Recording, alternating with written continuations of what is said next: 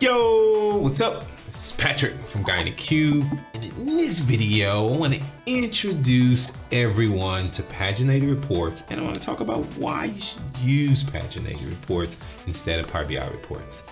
Stay tuned.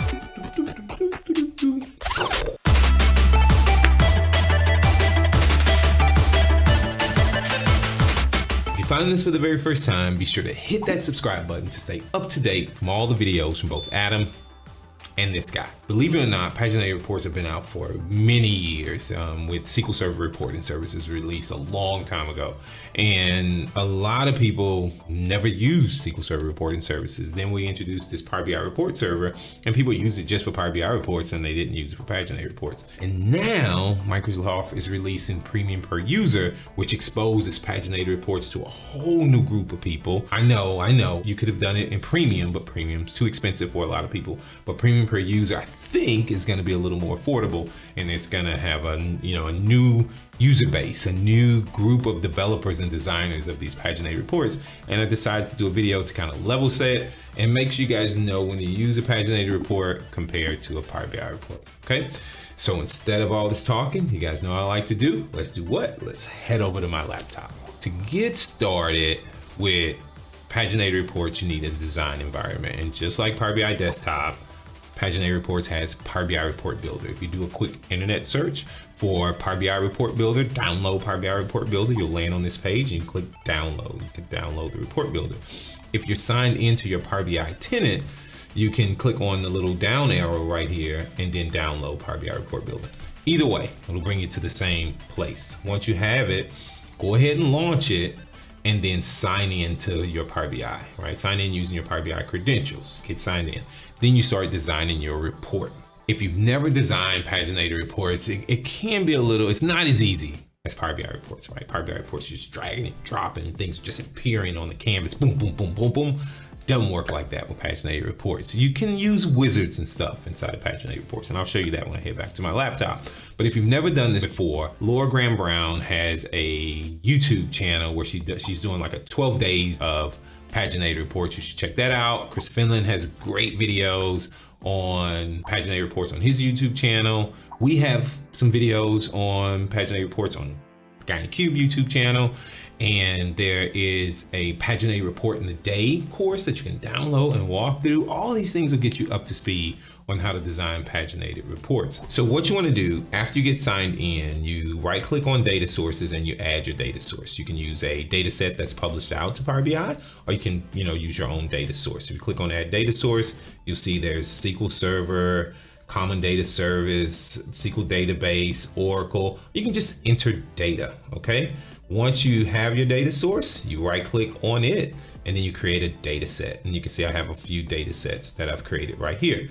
Once you do that, then you start designing your report. If you click on insert in the ribbon, you can say insert a table, insert a matrix, list, map, charts, lots of different types of charts and gauges and sparklines and indicators, all types of things here. What's great about this is Microsoft's introducing some things that you can do conditionally with you know certain elements on the Power BI report. With paginated reports, you have access to almost every pixel of that particular report. Every bar on the chart, every line on the graph, every element cell in a table, you have access to all this via a properties window that you can open up.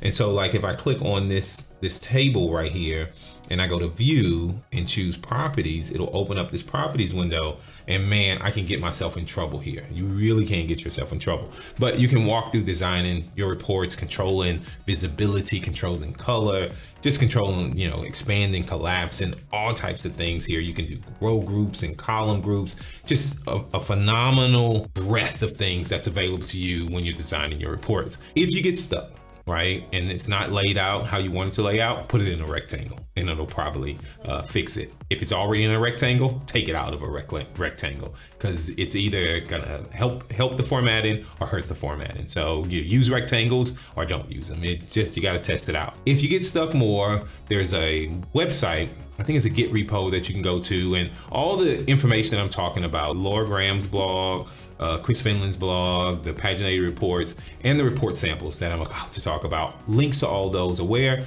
in the comments below and you can download them, right? So if you want to go get some really neat examples of like invoicing and transcripts and labels, you can go and download that from a link that we'll post below and it'll give you, you know, like some ideas on how to create your own reports. And what's great about these is they use the enter data choice as the data source. So you don't have to worry about connecting to some external data source. You can just open them up, run them, test them out, kick the tires, look at the design, and even copy some of the design for your own reports, okay?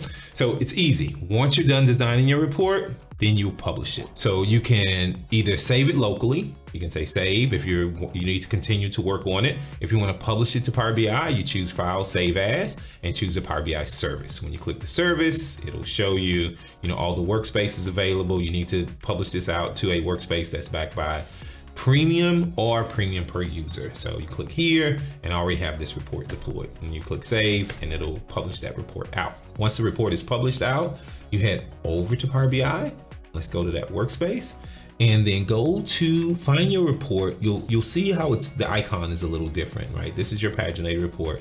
Click on the ellipsis here and choose setting, manage, not settings, choose manage.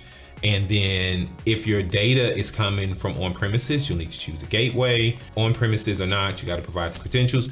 Unless you use the enter data option, then the data is just contained within the report. All right. Once you do all that, you can just simply go here and run your report. Once I run my report, if you have parameters that you need to specify, it's gonna prompt you to enter those parameters and then you just run your report. We'll come back to this in a little bit. Another, another way to actually get an RDL file, if you go back into your workspace and go to a data set and hover over the ellipsis, you'll see an option here to download the RDL. What'll happen there is it'll download an RDL with a connection already established to that data set. Th that data set, as that'll be the data source. That data set will be the data source for that report, and then you can create data sets based on that data source. So now you have your report out and you're ready to go, but you're probably still thinking, why can't I use Power BI reports? Why wouldn't I just use Power BI reports? They're just easy, drag and drop, drag and drop, boom, boom, boom, boom, boom. There's my bar graph, there's my table, but they don't always fit the bill. And so I was working with the customer. Yeah, I was working with the customer and they were trying to do something. I was like, why not use a paginated report? Let me show you. And so what they done is they designed this really nice report. And so if you go right here, choose buying group account, this is the report they created. And they created this really nice report. You can see it's, it's actually pretty nice. And what they did was they had this buying group and then they had a location and then they set their date range. And then what they would do, this is true story, I can't make this up. They would choose an invoice choose export and then export it to PDF. And then they would choose another invoice and do the same thing and repeat it for every invoice. And I said, what if you have 10 of these? What if there are 10 invoices? And they're like, we do it 10 times. So it's like, oh, that is not efficient at all. And so this was before the, the export API came out and everything like that. And I'm gonna do some videos with Power Automate and the export API and show you how you can automate these things, okay? But I'm just, I'm showing you why you would do this with paginated reports instead of Power BI reports. So I said, don't do this, don't do this. This, this is not something you wanna do. If you wanna really do this, you would use a paginated report. And so watch, if I go here and open up my paginated report, I have the exact same prompts. In fact, I'm connecting to the exact same data set. Um, and so I choose my location. I mean, I choose my buying group. I choose my location. I click view my report. And what you're gonna see here is because I set up the grouping on each one of the invoices when I design my report, and I said, give me a page break after each invoice. And so now this is one invoice. There's another invoice on another page and there's another invoice on another page. And then if I click export, it'll give me a single PDF file.